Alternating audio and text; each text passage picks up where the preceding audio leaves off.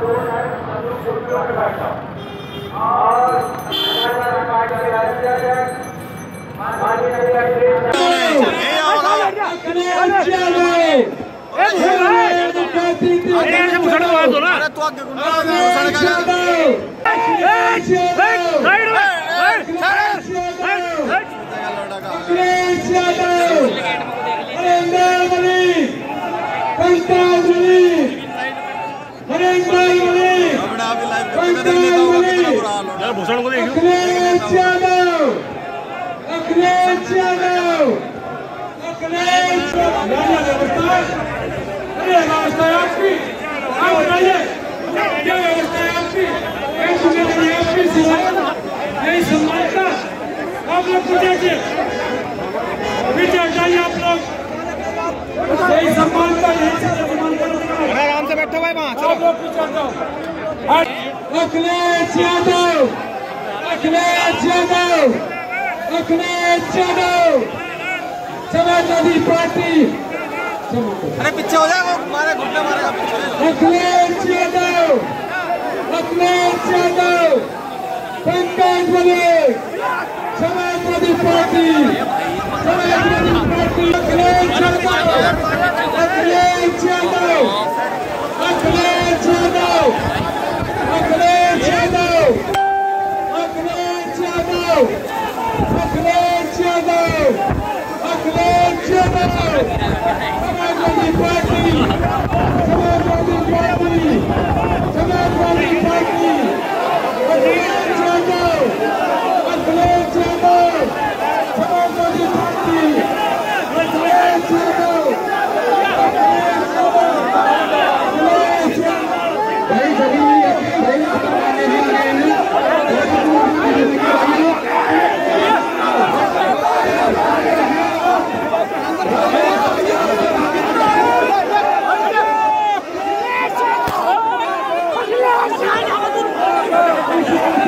अच्छा मैं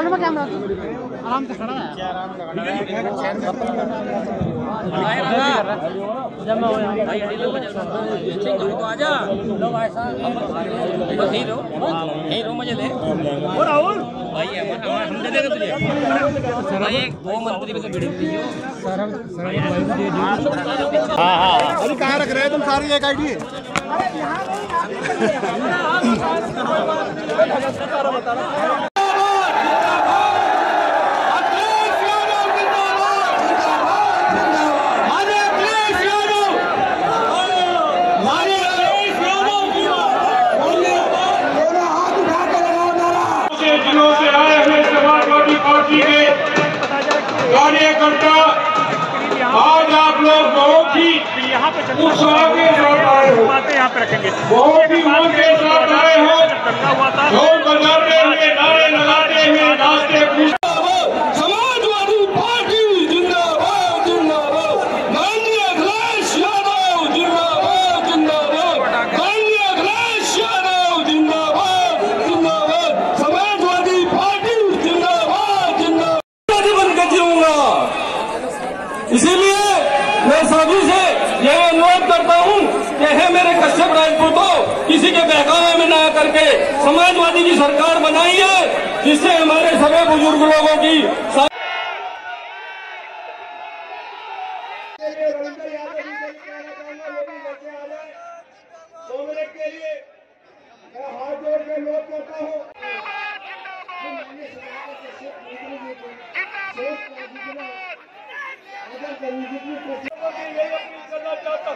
मैं आप लोगों से दिल से कहना चाहता हूँ अगर आप लोगों को अपना मान सम्मान बचाना।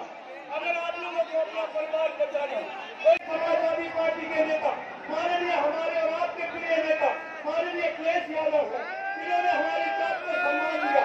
हमारी जात के छोटे लोगों को उन लोगों को बचना होगा और मैं आप लोगों से हृदय से कहता हूँ कि मैं वास्तविकता कहना चाहता हूँ कि मैं माननीय अखिलेश यादव जी के लिए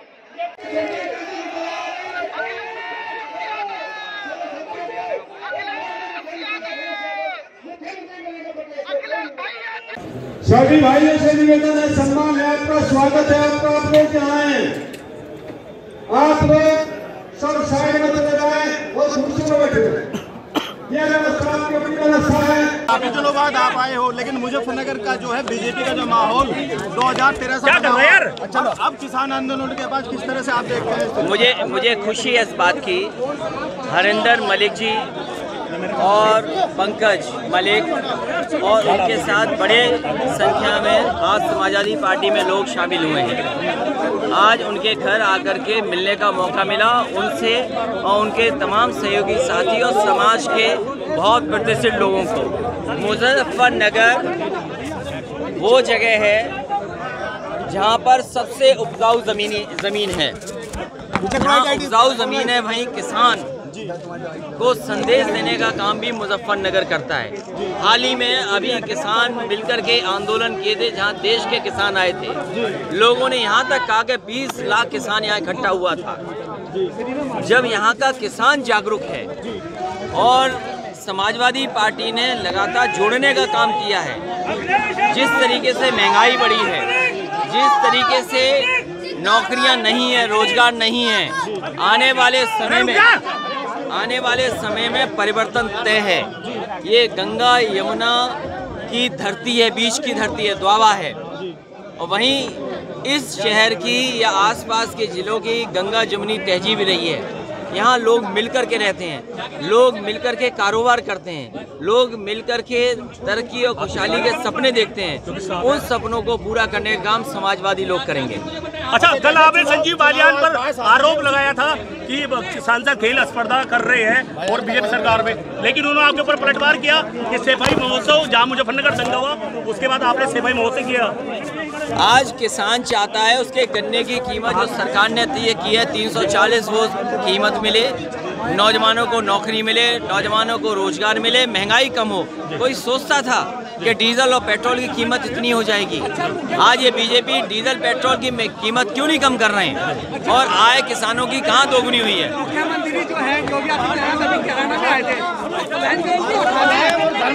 देखिए आज किसानों की खुशहाली सबसे बड़ा मुद्दा है।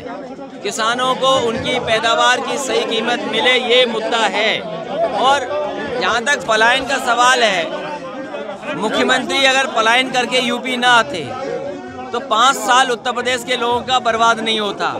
कम से कम उत्तर प्रदेश और खुशहाली के रास्ते पे जाता। अच्छा सलमान खुर्शी की किताब पर क्या कहेंगे हिंदू देखिए मैं मुझे कोई जानकारी नहीं है उस किताब के बारे में लेकिन उत्तर प्रदेश का चुनाव महँगाई पर बेरोजगारी के खिलाफ और किसानों को आय और किसानों की पैदावार की सही कीमत मिले, उस पर चुनाव क्या लगता है दो हज़ार बाईस में विधानसभा सपा पूर्ण बहुमत से आएगी?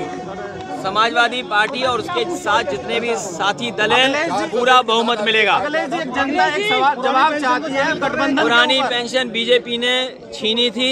आने वाले समय में क्या रास्ता निकाल सकते हैं उस पर विचार करेगी गठबंधन गठबंधन करेगी पार्टी और गठबंधन के लिए लगातार काम कर रही है दलों को जोड़ रही है। क्या प्रोग्राम था? आज का जो प्रोग्राम था बड़ा ऐतिहासिक प्रोग्राम है बताते रहो जो आज प्रोग्राम है वो ऐतिहासिक प्रोग्राम है क्योंकि देश की आज़ादी से लेकर आज तक किसी भी राष्ट्र पार्टी के नेता ने, किसी भी राष्ट्र पार्टी ने हमारी पिछड़ी जाति के कश्यप समाज को संबोधित नहीं किया है। और ये हमारे कश्यप समाज के लिए पहला ऐतिहासिक अवसर आदरणीय राष्ट्रीय अध्यक्ष अखिलेश यादव जी ने देने का काम किया है, जो आज बड़ी तादाद में हमारे कश्यप समाज को संबोधित किया है। ये हमारे समाज के लिए बड़ा ऐतिहासिक अवसर मिला है।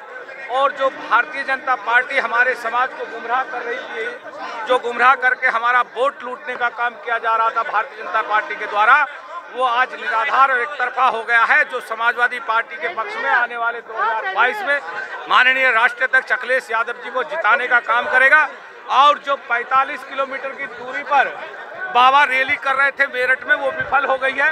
जिस तरीके से शामली में आपके यहाँ विफल हुई उसी तरीके से आज मेरठ में भी बाबा की रैली विफल होगी कुर्सी खाली पाई गई स्कूली बच्चों को लाया गया संविदा कर्मियों को ज़बरदस्ती बैठाया गया। मेरठ में बड़े अफसोस की बात है कि आज जनता ने नकार दिया है भारतीय जनता पार्टी को और विकास अखिलेश यादव जी को पकड़ लिया है।